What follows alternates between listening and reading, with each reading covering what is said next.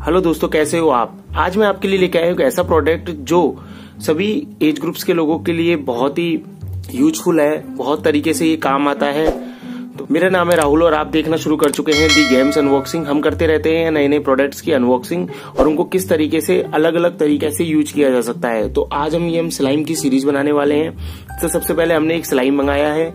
ये हमने हमारे होलसेलर से मंगाया है। यदि आप भी उसको मंगाना चाहते हैं तो डिस्क्रिप्शन में मैं बाई लिंक दे दूँगा।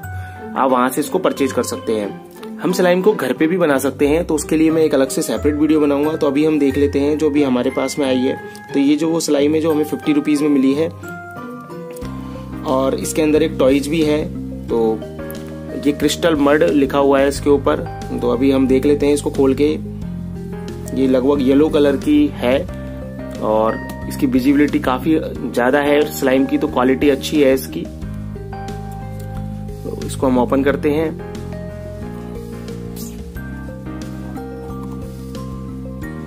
ओपन करने के बाद में हम इसको निकालते हैं अब जिनको स्लाइम पसंद है, उनको ये बहुत अच्छी लग रही होगी स्लाइम तो अभी हम इसको हम निकाल रहे काफ़ी सारी स्लाइम है। इसके काफ़ी सारे यूज़ भी हैं इस स्लाइम के।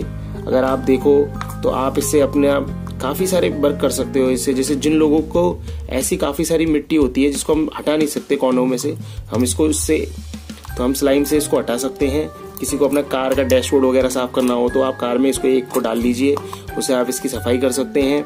इससे एक स्ट्रेस बॉल भी बनाई जा सकती है। स्ट्रेस के लिए भी बहुत अच्छा काम में आता है ये प्रोडक्ट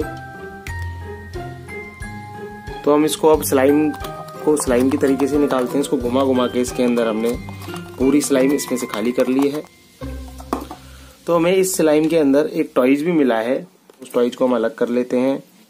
जिस सेलर से हमने इसको मंगाया था, उसके जितने भी स्लाइम्स थी, उनके अंदर कुछ ना कुछ टॉयज थे तो इसमें स्पाइडर मैन निकला है। तो ये एक प्लस पॉइंट हो गया। ये स्पाइडर मैन है। अब हम इस स्लाइम को एक साथ करते हैं। ये देखो, ये पूरा स्लाइम का टुकड़ा एक साथ हो गया है।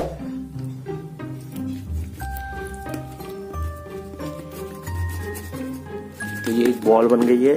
अब आप देखोगे, ये एक बॉल बन गई है। और इसको आप कुछ इस तरीके से अपने हाथ में भी रख सकते हो। तो हर एज ग्रुप का बंदा इसको अलग अलग तरीके से यूज़ कर सकता है।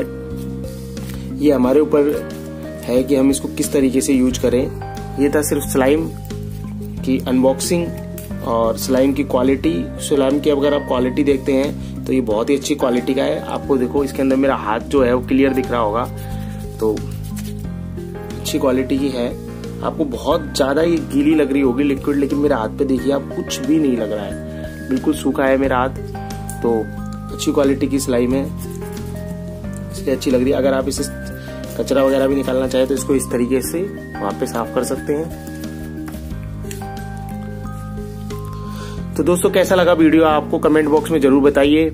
और यदि आपको भी स्लाइम की कुछ और वीडियोस देखनी है या फिर और कोई चीज़ की आप चाहते हैं अनबॉक्सिंग तो हमें कमेंट बॉक्स में ज़रूर लिख दीजिए। और यदि वीडियो आया पसंद तो उसको लाइक कर देना शेयर कर देना और हमारे चैनल को सब्सक्राइब कर लीजिए। हम करते रहेंगे आपके लिए इसी प्रकार की अनबॉक्सिंग और भी चीज़ों की।